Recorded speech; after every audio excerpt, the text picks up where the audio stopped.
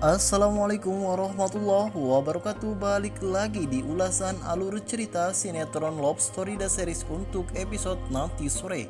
Pada hari Minggu tanggal 22 Agustus tahun 2021 Yang tentunya semakin seru dan semakin menarik lagi ya guys. Untuk kita saksikan. Namun bagi kalian yang baru saja bergabung dan menemukan channel ini alangkah baiknya terlebih dahulu kalian menekan tombol like, comment, dan subscribe dan jangan lupa aktifkan tombol lonceng notifikasinya ya guys. Agar kalian tidak ketinggalan info-info menarik dari sinetron kesayangan kalian di channel ini. Namun sebelumnya mari kita mendoakan kepada seluruh kru dan pemain agar sehat selalu. Serta doakan Love Story ke depannya semakin menarik lagi ya guys. Agar supaya bisa bersaing rating teratas. Oke guys, kita pun disuguhkan dengan alur-alur yang semakin menarik lagi ya guys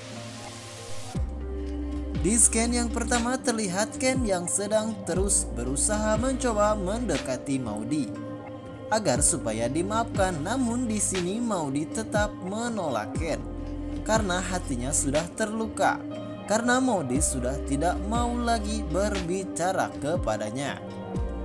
Namun di sini Ken tahu kalau Maudi sedang membohongi perasaannya. Ken juga tahu kalau Maudi masih mencintai dirinya. Namun Maudi pun menutupi semuanya dari Ken. Karena Maudi juga menyadari kalau Ken itu selalu berusaha untuk membujuk dirinya untuk mengurungkan niatnya bercerai dengannya. Namun di situ Maudi berpikir kalau dia adalah beban untuk Ken. Maudi pun memutuskan untuk berpisah dengan Ken. Semoga aja Maudi bisa berubah pikiran untuk mengurungkan percaranya dengan Ken. Di scan lain terlihat Om Arga yang sedang mengobrol dengan Jidan. Namun di situ Om Arga melihat cara Jidan mengadu kopi. Om Arga teringat kepada seseorang wanita. Om Arga merasa bahwa ia itu memang benar-benar sudah mengenal Jidan.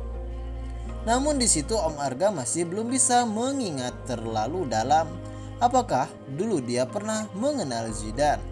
Ketika melihat Zidan mengadu kopi berarah melawan jarum jam, membuat Om Arga pun teringat kepada seorang wanita yang mungkin itu adalah seorang yang bersejarah baginya.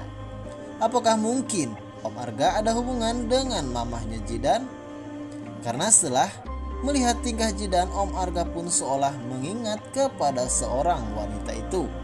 Apakah wanita itu adalah mantan terindah dari Om Arga?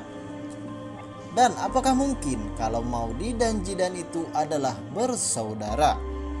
Karena sudah kita ketahui kalau Jidan yang selalu perhatian kepada Maudi. Apakah benar Maudi dan Jidan bersaudara? Oke guys, kita tunggu saja kelanjutan ceritanya nanti sore. Bagaimana menurut pendapat kalian tentang ulasan hari ini? Silahkan tulis di kolom komentar ya guys.